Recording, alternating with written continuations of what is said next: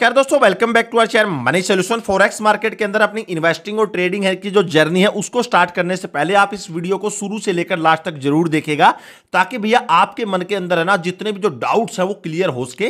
देखिए, आज के समय में आप लोग देख रहे होंगे, जो फॉरेक्स मार्केट काफ़ी ज़्यादा पॉपुलर हो रही है और लोग है ना, इसकी तरफ़ काफ़ी ज़्यादा आकर्षित हो रहे हैं।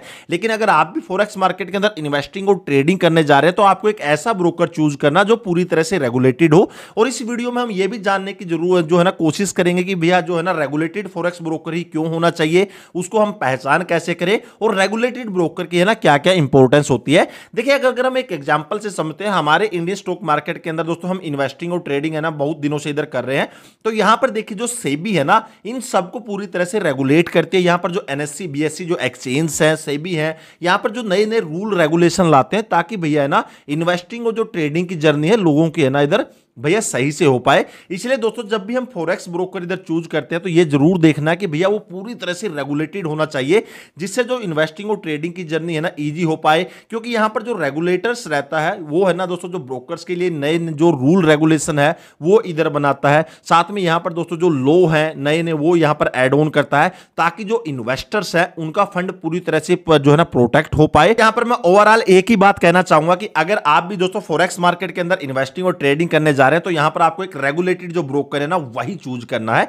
देखिए, अगर हम रेगुलेशन को दोस्तों इधर पूरी तरह से रीड करते हैं तो यहाँ पर है ना, आपको तीन तरह के जो रेगुलेशन है, वो दिखाई दे जाएँगे। Tier one tier two tier three और अगर हम एक एक को एक्सप्लेन करते हैं तो टायर वन के अंदर दोस्तों जो कठोर रेगुलेशन है ना, वो यहाँ पर आते हैं। यहाँ पर दोस्तों जो रेगुलेटर है, वो स्ट्रोंग जो दोस्तों जो स्ट्रिक्ट जो रूल है, वो बनाता है, जिसको जो ब्रोकर को वो फॉलो करना पड़ता है। जैसे कि यहाँ पर जो रेगुलेटर्स है, वो अपने जो ब्रोकर रहता है, उसको ये बोल सकता है कि यहाँ पर दोस्तों एक एडुकेट जो कैपिटल्स है, एक अमाउंट है, वो रिज़र्व रखनी पड़ेगी यहाँ पर रेगुलेटर के पास, ताकि भविष्य के अंदर जो ब्रोकर है अगर दोस्तों वो दिवालिया हो जाता है या कुछ होता है तो यहाँ पर दोस्तों जो इन्वेस्टर और जो ट्रेडर है, उनका दोस्तों जो पैसा है ना, यहाँ पर जो रिज़र्व रखा गया है, वहाँ से उसकी पूर्ति की जा सकती है। साथ में दोस्तों यहाँ पर है ना, जो रेगुलेटर रहता है, वो जो स्ट्रिक्ट रूल्स है नए नए दोस्तों जो फ्रेमवर्क है नए नए लॉ है नए नए दोस्तों जो इतने जो ट्रेडिंग और जो इन्वेस्टिंग को है ना प्रोटेक्ट करने के लिए ना, जो यहाँ पर जो लो बना सकता है और जिसको है ना, इधर जो ब्रोकर को है ना, इधर फॉलो करने पड़ते हैं तो यहाँ टायर वन के अंदर है ना, जो स्ट्रिक्ट रूल्स है, वो इधर है ना, इसके अंदर आते हैं। तो जो ई एस एम ए है, वो यहाँ पर यूरोपियन यूनियन के अंदर जो फाइनेंशियल रेगुलेशन है, उनके जो मापदंड है, वो निर्धारित करता है और यहाँ पर हाई लेवल का जो इन्वेस्टर का जो प्रोटेक्शन है ना,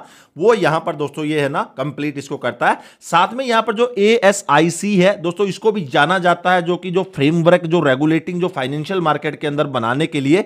और दोस्तों जो है ना, जो यहाँ पर जो होल्डिंग ब्रोकर की जो अकाउंटेबिलिटी इसके हाथ में इधर रहती है। अब हम बात करते हैं सेकंड रेगुलेशन की, जो कि टायर टू इसको बोलते हैं। यहाँ पर जो मॉडरेट लेवल की दोस्तों, जो रेगुलेशन है, वो यहाँ पर आती है। यानी कि ना तो बिल्कुल ज़्यादा है स्ट्रिक्ट और ना ही बिल्कुल दोस्तों लोअर लेवल की। यहाँ पर जो मॉडरेट लेवल की जो रेगुलेशन है, उसको इधर फॉलो किया जाता है। जैसे कि अगर हम दोस्तों कैपिटल रिज़र्व की इधर बात करते हैं तो यहाँ पर टायर वन की अपेक्षा है ना, जो कैपिटल रिज़र्व है, कम हो सकता है। लेकिन यहाँ पर दोस्तों, जो इन्वेस्टर प्रोटेक्शन है ना, वो यहाँ पर है ना टॉप मोस्ट इधर रखा जाता है। इसके अंदर दोस्तों, जो रूल रेगुलेशन है, उनको भी इधर फॉलो किया जाता है। लेकिन यहाँ पर जिस तरह के टायर वन के अंदर जो रेगुलेशन रहती है, उस तरह की नहीं रहती, लेकिन यहाँ पर मॉडरेट लेवल की जो रेगुलेशन है ना, उनको फॉलो करना पड़ता है। यहाँ पर भी जो मार्केटिंग जो प्रैक्टिस है, उनको इधर मॉनिटर्ड किया जाता है, लेकिन टायर वन की अपेक्षा यहाँ पर थोड़ी सी फ्लेक्सिबिलिटी इधर दी गई है। अगर हम एग्ज़ाम्पल के हिसाब से समझना चाहें तो जो यहाँ पर जो the financial sector conduct authority जो कि एफ़ है, इसका है ना दोस्तों, एक एग्ज़ाम्पल है, जो कि मॉडरेट कैटेगरी के अंदर आती है। एफ़ है, वो यहाँ पर जो मॉनिटरिंग करती है, जो मार्केटिंग प्रैक्टिस है प्रोडक्ट ऑफरिंग है, और हाउ टू हैंडल जो कस्टमर की जो कंप्लेन है, उनको पूरी तरह से सुपरविजन किया जाता है इधर एफ़ के द्वारा। तो यहाँ पर मॉडरेट लेवल के अंदर है ना, इस तरह की दोस्तों जो कैटेगरी है, उनको इंक्लूड किया जाता है। तो नेक्स्ट यहाँ पर आ जाता है टायर थ्री यानी लिमिटेड रेगुलेशन अगर इसके अंदर हम देखते हैं दोस्तों, जो इन्वेस्टर की जो प्रोटेक्शन है, यहाँ पर बहुत कम होती है या ना के बराबर होती है, यानी कि शायद हो सकता है कि इसके अंदर एग्जिस्ट ही ना करे। यहाँ पर साथ में दोस्तों, जो कैपिटल जो एडिक्वेट जो रिज़र्व के रूप में रखी गई थी, वो बिल्कुल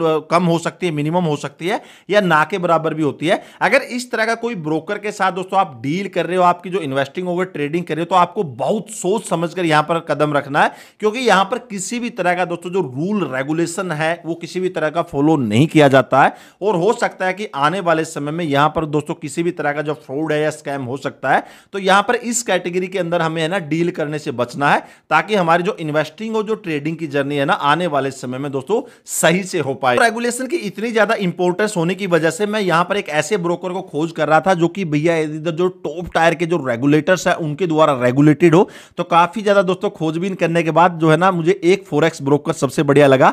उसका नाम है वीटी मार्केट्स देखिए, जो वीटी मार्केट्स है, जो टॉप टायर के जो रेगुलेटर्स है, उनके द्वारा रेगुलेटेड है। यहाँ पर देखिए, जो वीटी मार्केट्स है ना, जो ए जो कि ऑस्ट्रेलिया उसके द्वारा रेगुलेटेड है। साथ में जो एफ़ जो कि दोस्तों साउथ अफ्रीका है, उससे भी रेगुलेटेड है। और साथ में यहाँ जो एफ़ यानी कि मोरिशस फाइनेंशियल जो सर्विस कमीशन है, उससे भी रेगुलेटेड है। तो यहाँ पर दोस्तों जो वीटी मार्केट्स है ना, दोस्तों जो टॉप टायर के जो रेगुलेटर्स है, उनके द्वारा रेगुलेटेड है और पूरी तरह से दोस्तों जो रूल रेगुलेशन है, उनको इधर फॉलो करता है। तो अगर आप वीटी मार्केट को चूज़ करते थे यहाँ पर आपको कई सारे बेनिफिट देखने को मिल जाएँगे। सबसे पहले जो हाई कैपिटल है ना, यहाँ पर दोस्तों जो पर्याप्त जो कैपिटल है ना, वो रिज़र्व के तौर पर रखा जाता है।